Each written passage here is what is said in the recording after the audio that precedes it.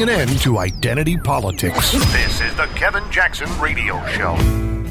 Welcome back, everybody. Kevin Jackson talking about Saturday Night Live mocking the Democrats.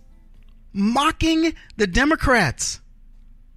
They play, I played a clip. They talked about fresh faces, fresh ideas, fresh faces as they showed Einstein, uh, Weinstein, Pelosi, uh, Chuck Schumer, fresh ideas, new leaders. They said Elizabeth Warren, Joe Biden, Bernie Sanders.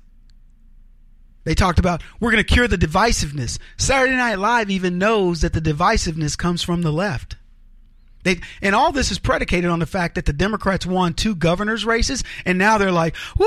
Look at us! We're a big deal. We're coming back." They two governors' races they were supposed to win, and they're back. Then they went on to mock them for saying, yeah, the Democrats have great ideas. Transporting illegals is a new way to, to do jobs. Converting Confederate monuments into monuments honoring lesbian poets is a new one. And also political correctness. They mock that. Folks, these are signs. Signs that things are changing. I don't know to what. Alec Baldwin built a second career on Saturday Night Live with his lame butt version of candidate Donald Trump.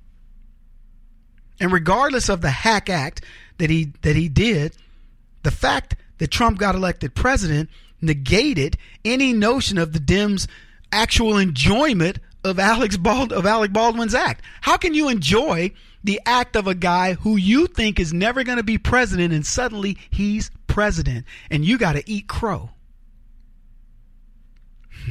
I love it.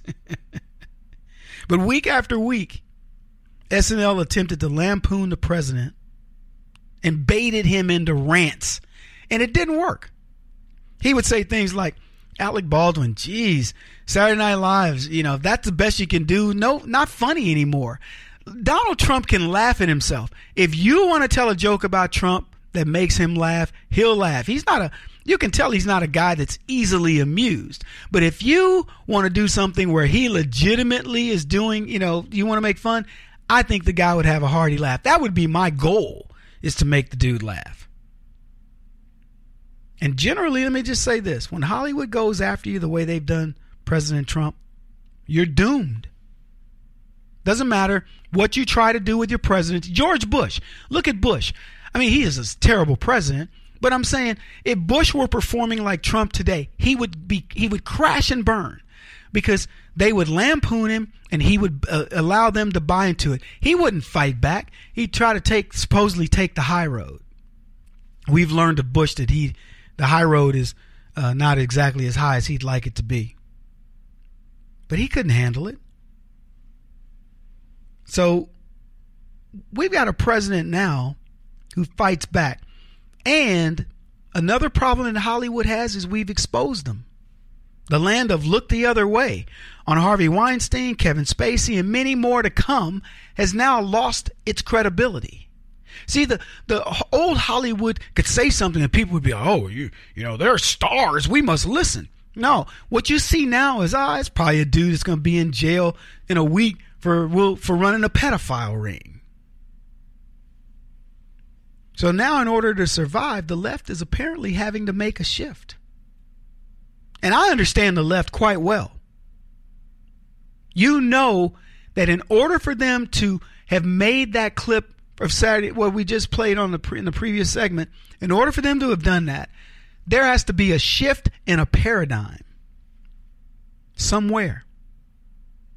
The Daily Beast reported SNL shifted its attack this week for all the times Donald Trump has criticized Saturday Night Live for being biased against him. He's probably going to have to love the political commercial parody that aired this week.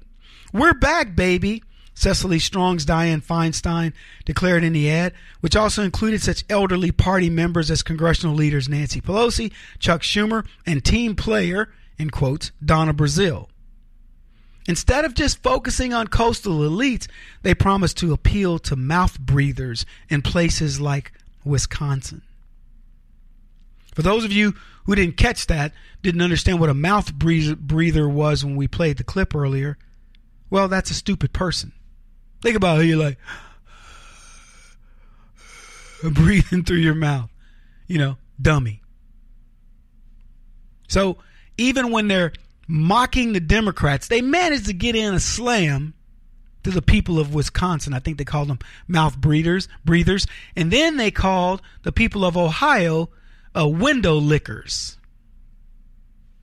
So they, you know, they they can't just let you get away with it pure and simple. They got to get you a little bit. But regardless, they still attack the Democrats.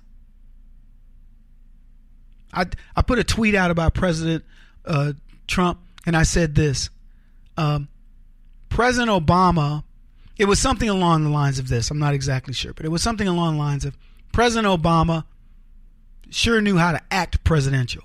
President Trump knows how to perform presidential. And I was putting that out to all the never Trumpers and the naysayers about President Trump who say things like, well, you know, he's too stupid to do this or he's too that. I'm like, really? So the guy that the Chinese call Uncle Trump, and with affection, by the way, and who the world seems to love is a pariah in his hometown because of the left? Yeah, I think something's happening, folks. Suddenly, people are beginning to see that maybe Barack Obama wasn't the smart guy that everybody thought he was. President Trump, when he gets things done, it benefits America. And I think the left realize this. And the fact that SNL turned its questionable wit in the direction of Democrats is significant, if you ask me. I've talked about what President Trump's doing right now, traveling to Asia, trying to get rid of a $547 billion trade imbalance and to put short and fat on notice. That's Kim Jong un. And Saturday Night Live found nothing to lampoon. Think about it. What a setup. He, he called the leader of North Korea fat and uh, uh, short and fat. excuse me, short and fat. And the left could find no, I mean, that would be normally they'd be talking about how unpresidential that is. And of course, the president couched it in the way of saying, "Hey, he called me old, and I wouldn't dare call him short and fat," which of course is him calling him short and fat. And the left knows this. It's ripe for comedic humor, and none of them took it. I haven't seen them. That's the biggest complaint by the left. He's not presidential. He's a terrible person. He's not. Okay, he may be all that, but you didn't say anything about him. Saturday Night Live, who's been spending week after week with Alec Baldwin lampooning the guy. He's not presidential. Look, he called him short and fat. And they didn't say anything. I'm just wondering what's up. I mean, instead, Saturday Night Live lampooned the new, very old version of the Democrats. How's that even possible? do you have any idea the level of permission Saturday Night Live comedians need to dump on the Democrats instead of dumping on Trump? That goes all the way up to Obama.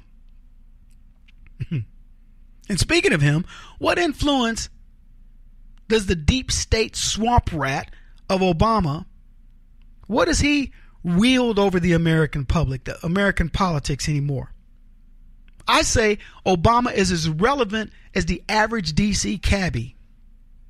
His opinions mean nothing. For the guy who set up shop in D.C., hired Valerie Jarrett to head his new operation, his anti Trump operation, what do they have to show for it?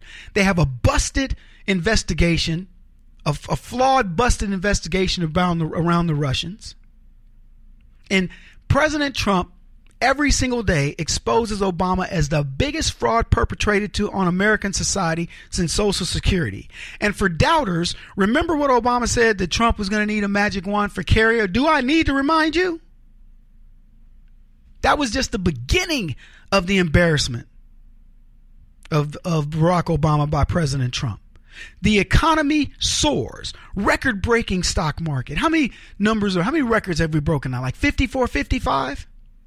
lowest unemployment rate in decades, soaring computer confidence. America will have its AAA bond back within a year. We will have more money circulating through this economy. We have the biggest GDP growth in the first two quarters. Bar- uh, Barack Obama never got to three in GDP growth. They're talking about four and five, and Trump's done it twice. GDP growth twice over three. What are you talking about? I know what I'm talking about. So when Barack Obama had the nerve to call Trump a BSer, a while back. You remember that? Called him a BSer. Well, we know who the BSers are. Look, I don't care. You, you look, go connect the dots. Go look at the people that were anti-Trump and see where they are now. And then remember Saturday Night Live, who's been lampooning Trump week after week, month after month, just went after the Democrats. I got to leave it there. Won't stop until he's the top rated radio talk show host in America. What kind of weird competitive freak are you? This is the Kevin Jackson Radio Show.